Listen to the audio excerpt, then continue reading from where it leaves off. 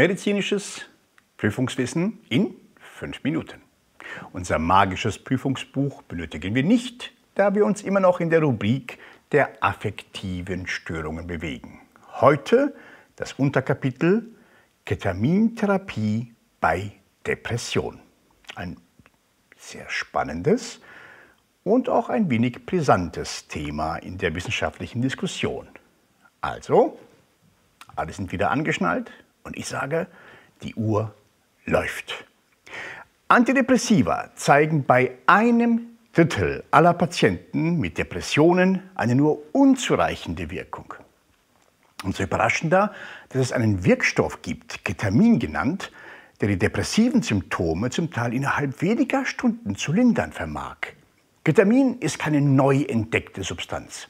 Es wird schon seit Jahrzehnten als Narkosemittel mit zugleich analgetischer Wirkung eingesetzt. Pharmakologisch ist es ein Gegenspieler des Neurotransmitters Glutamat, dem wichtigsten erregenden Botenstoff im zentralen Nervensystem. Genau genommen blockiert Ketamin einen spezifischen Glutamatrezeptor, den NMDA-Rezeptor. Durch diese Blockade kann sich die erregende Wirkung des Glutamats nicht entfalten. Im Umkehrschluss wurde deshalb postuliert, dass zu viel Glutamataktivität mit Depressionen zusammenhängt. In Dosen, die deutlich unter jenen liegen, die zum Beispiel in der Anästhesie eingesetzt werden, hat Ketamin mittels Infusion verabreicht in den letzten Jahren in Studien zum Teil frappierende Ergebnisse bei depressiven Patienten erzielt.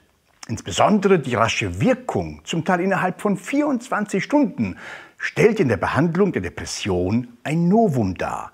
Herkömmliche Antidepressiva wirken nämlich erst nach ein bis drei Wochen. Zudem entfaltet Ketamin eine signifikante antisuizidale Wirkung, was dem Einsatz in der Klinik im Sinne einer raschen Entlastung zugutekommt.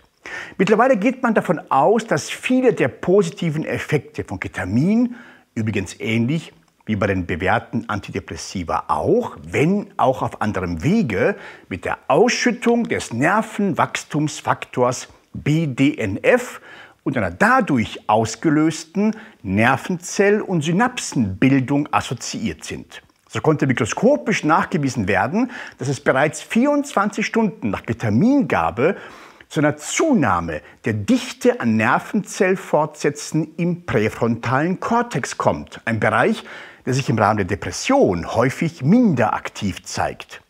Die molekularen Mechanismen, die dahinter stehen, konnten zum Teil entschlüsselt werden.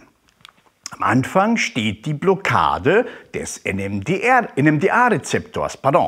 Das folgende Schaubild zeigt die dann folgenden Prozesse, die über verschiedene Mechanismen zu einer verstärkten Aktivierung des Nervenwachstumsfaktors BDNF in der Zelle führen. Darüber hinaus wird die Tyrosinkinase B aktiviert, deren Beeinflussung weiterer Enzyme am Ende in eine Förderung der Synaptogenese mündet. Das heißt, durch Ketamin wird die Aktivierung und Ausschüttung von BDNF erhöht und die Synapsen, aber auch Nervenzellbildung gefördert. Das Gehirn steigert seine Plastizität. Doch nicht genug damit. Eine neue Studie geht davon aus, dass Ketamin die Habinula, ein Kerngebiet im Zwischenhirn, hemmt. Weshalb ist das wichtig? Neurone der Habinula hemmen Dopaminneurone des Belohnungssystems. Ketamin hebt diese Wirkung auf und fördert so die Aktivierung des Belohnungssystems. Ein wirklich spannendes Modell. Noch ein Wort zur Verabreichung. Ketamin wird mittlerweile auch als nasale Applikation weiterentwickelt und zeigt ja auch hier in Studien positive Ergebnisse. Okay, doch bei aller Euphorie bezüglich der Wirksamkeit sollten trotzdem folgende Aspekte berücksichtigt werden. Erstens, ja, es gibt Patienten, die sehr gut ansprechen, insbesondere solche mit einer chronischen oder therapieresistenten Depression. Umgekehrt muss jedoch auch festgehalten werden, dass eine Ketamintherapie keine Wunder vollbringen kann. Erfahrungsberichte von Kliniken, die regelmäßig Ketamininfusionen verabreichen, zeigen, dass die Ketamininfusionen bei über 50 Prozent der Patienten schnelle Erfolge bereits nach ein bis zwei Infusionen zeigen. Langfristige Erfolge stellen sich dagegen wesentlich seltener ein. Das Zahlenmaterial ist hier sehr unsicher. Schätzungen gehen von etwa 20 Prozent aus. Die Nebenwirkungen müssen ebenfalls bedacht werden. Kurzzeitige, nämlich dissoziative Störungen, Angststörungen, Blutdruckanstieg, Schwindel, Übelkeit, das gilt es ebenfalls zu berücksichtigen. Doch aber, ganz wichtig, eine Frage ist noch nicht geklärt, nämlich die Frage nach einer möglichen Abhängigkeit durch wiederholte Ketamingaben. In einer aktuellen Arbeit wurden die antidepressiven Effekte von Ketamin mit einem Opiat-Antagonisten, oh, das Licht ist aus, ah, Sie kennen das schon, aber nur noch ein paar Sekunden. Also durch einen Opiat-Antagonisten wurde die Wirkung aufgehoben. Dies zeigt, dass sich der Ketamineffekt wohl auch über Opiatrezeptoren entfalten muss. Diese Befunde speisen die Befürchtung, Ketamin könnte langfristig abhängigkeitsmachende Effekte entfalten. Also, alles Wichtige ist gesagt.